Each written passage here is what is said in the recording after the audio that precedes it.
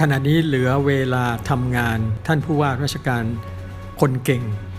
ขวัญใจคนลำปาง ท่านสุวัสด์พรมสุวรรณอีกแค่ 80 วัน สัญญาที่ท่านให้ไว้กับพวกเรา ว่าท่านจะช่วยร้องขอต่อผู้มีอำนาจ ให้แต่งตั้งผู้ว่าราชการจังหวัดลำปางคนต่อไป อย่างน้อยต้องมีอายุราชการเกิน 2 ปี ฝากความหวัง ไว้กับท่านผู้ว่า อย่าลืมทำตามที่ท่านสัญญากับคนลำปางด้วยนะครับ คนลำปางเราไม่ทิ้งกัน ขอบคุณครับ